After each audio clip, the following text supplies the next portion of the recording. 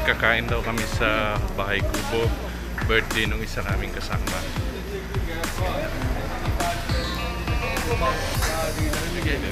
Kasama.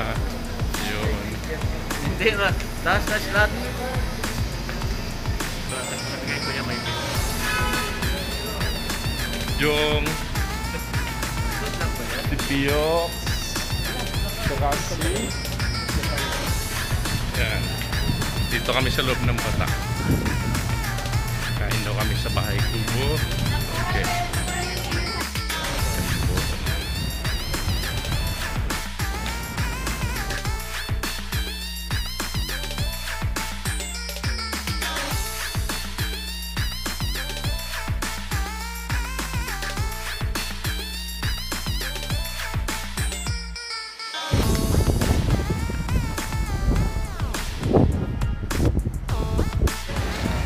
Ayan, tapos na po kaming kumain.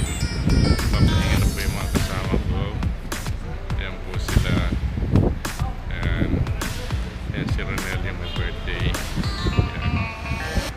Ayan. Siya po yung may birthday. Ayan.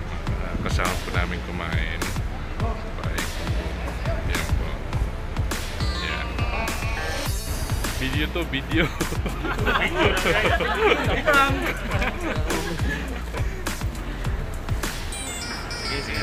Ayan, mga kasama namin kumain.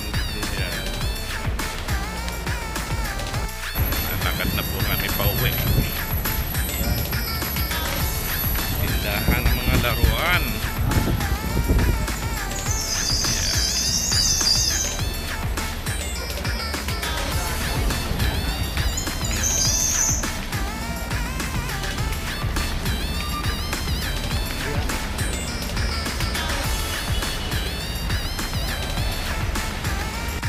yung tinitirhan namin. Yung mataas na yan.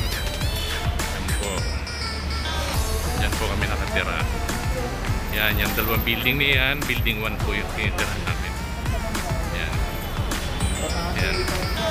Nandun po kami sa 12th floor. Yan. Yan, yan. Yung building na yan po. Yan. Yan.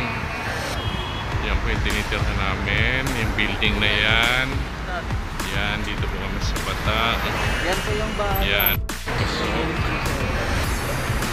bahay namin. Yan.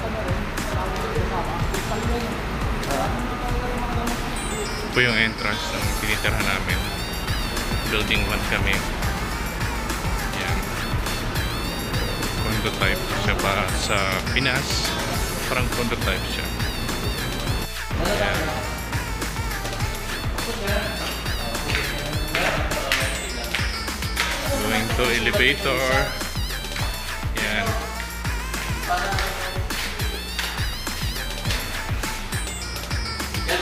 Si Yoxp.